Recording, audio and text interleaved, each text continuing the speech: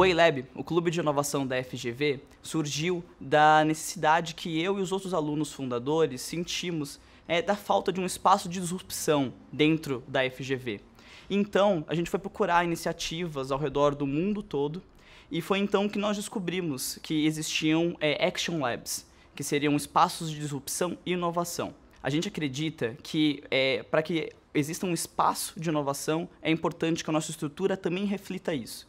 É por isso que o A-Lab é dividido não é pelas áreas funcionais, mas sim orientado por stakeholders. É, nós nos dividimos em casas, não diretorias. A primeira casa, a Casa Revolução, ela é focada no público externo.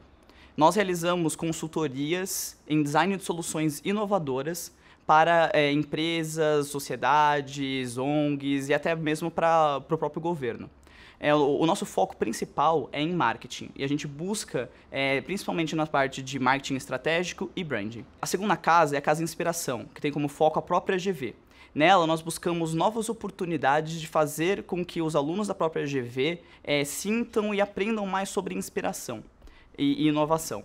É, um dos exemplos dos projetos que a gente realiza é com o próprio departamento de marketing na disciplina do primeiro semestre aqui de introdução ao marketing, junto com todos os alunos. E a terceira casa é a Casa Evolução, focada no próprio eLab. O objetivo dessa casa é pensar em maneiras de oxigenar as estruturas e o funcionamento do próprio clube de inovação.